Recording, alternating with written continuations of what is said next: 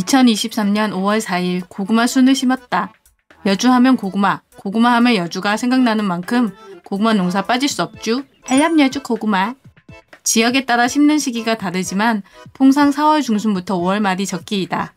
영상 교육을 받는 수강생이신 농부님께서 베니하루카 품종 한 단을 주셨다. 고구마 모종이 한 단에 7,000원에서 만원 정도 하는데 nice.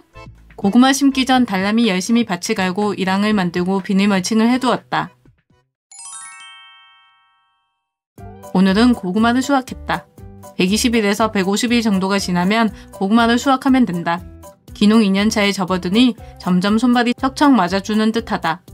물가가 폭등하고 있고 고구마 값도 계속 오르고 있다. 이제는 정말 자급자족의 시대가 온 듯하다. 도시에 살 때에는 작은 텃밭을 가꾸면서 여유있게 살아보는 것이 꿈이었다. 사실 처음에는 텃밭 농사를 만만하게 여겼던 것 같다. 하지만 막상 텃밭을 가꾸는 일은 보통 일이 아니었다. 텃밭 가꾸는 것도 사회생활을 하는 것과 같이 굉장한 노력과 힘이 필요하다.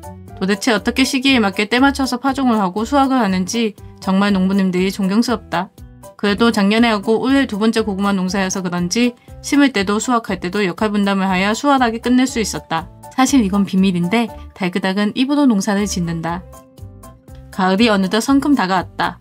가을이 지나고 나면 올해도 어김없이 김장을 해야 한다. 지금 밭에는 김장 재료인 무, 배추, 쪽파가 무럭무럭 잘 자라주고 있다. 김장철이 지나고 나면 또 겨울은 찾아오고 추운 겨울철을 앞두고 텃밭 뒷정리를 해야 하는 농심의 마음은 바빠질 것이다.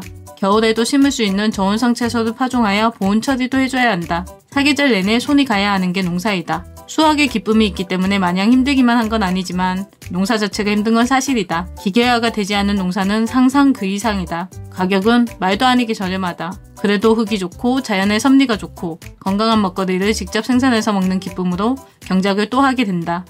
농사로 소득을 얻고 사회에서 뭔가를 인정을 받기는 힘들다. 그냥 자급자족으로 건강한 농산물을 먹는 게 최고다. 기농기촌 771차 초보농부의 기농일기 끝!